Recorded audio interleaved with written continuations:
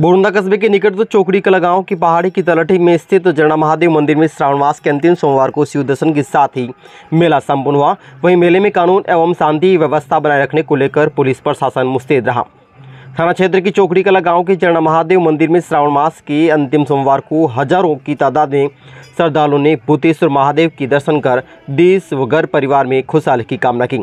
वहीं मंदिर परिसर में आयोजित जरना महादेव मेले में आधा किमी तक श्रद्धालुओं की कतारें लगी रहीं। वहीं मेले में सौ से अधिक लगे प्रतिष्ठानों पर श्रद्धालुओं ने रक्षाबंधन के मौके पर जमकर खरीदारी की। वहीं मेले में शांति एवं कानून व्यवस्था बनाए रखने को लेकर थानाधिकारी देवकिशन जाप्ता एवं पुलिस लाइन का स्टाफ मौजूद रहा।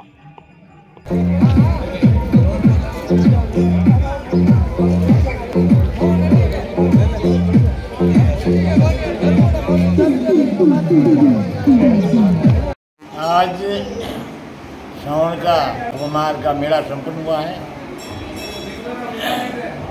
बोरुंगा थानेदार साहब देवकिशन जी की पू- पूर्ण ड्यूटी से और शांति व्यवस्था से मेला संपन्न हुआ। हज़ारों की संख्या में श्रद्धालु आए और सारे दिन ही मेला बहुत ही हँसी खुशी निपटा। सोमवार के अंदर दर्शनार्थियों की भारी भीड़ रही। जिसका मुख्य कारण मौसम का ठीक होना।